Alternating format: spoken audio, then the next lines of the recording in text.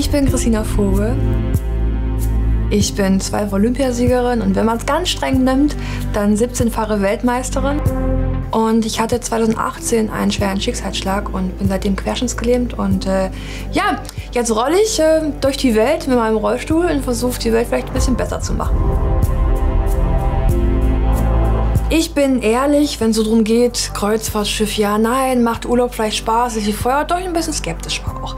Klappt das dann so mit dem Rollstuhl, sind die Zimmer und ist alles so barrierefrei und was nicht. Und so bin ich hergekommen und habe dann auf einer Schwester, Rida Cosma, äh, meine erste Rundfahrt machen dürfen und ich bin sowas von begeistert. Ich habe mich noch nie irgendwo so wohl gefühlt, weil ich sage, das Schiff ist zu 90% barrierefrei ich fühle mich einfach so aufgehoben und weiß, ich kann hier wirklich abschalten und Urlaub machen und so sollte es doch eigentlich auch sein, oder?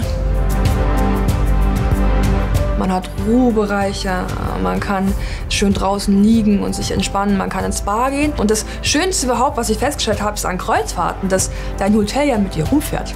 Dass du ja am Tag irgendwo anders dann äh, die Stadt erkunden kannst, äh, vielleicht auch Plätze siehst, die du niemals gesehen hast und dann wie das Hotel gehst, das Hotel fährt die wie woanders hin. Und das finde ich, finde ich eigentlich cool, weil man so viele Fliegen bei einer Klappe eigentlich auch schlägt. Mein Leben hat sich mit meinem Unfall radikal geändert. Und eigentlich auch gar nicht.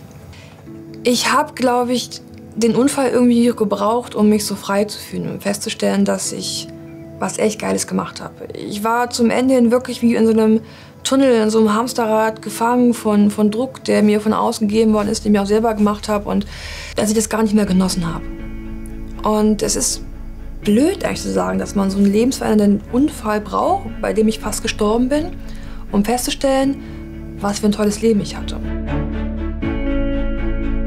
Ich habe festgestellt, dass viele Angst haben und auch na, teilweise auch Vorteile haben von Menschen mit Behinderung, die anders sind. Aber nur anders sind, weil wir damit gar nicht aufwachsen. Und ähm, darum geht es mir einfach auch, ne? dass ich Vorurteile abbaue, ähm, Menschen, die Angst nehmen, auf mich zuzukommen, zu fragen, kann ich dir helfen, kann ich dir nicht helfen. Und ähm, ich glaube, wenn wir uns alle besser kennen würden und wenn wir uns alle trauen würden, aufeinander zuzugehen und diese Ängste abbauen würden, dann wäre die Welt doch viel besser, als sie gerade ist, oder?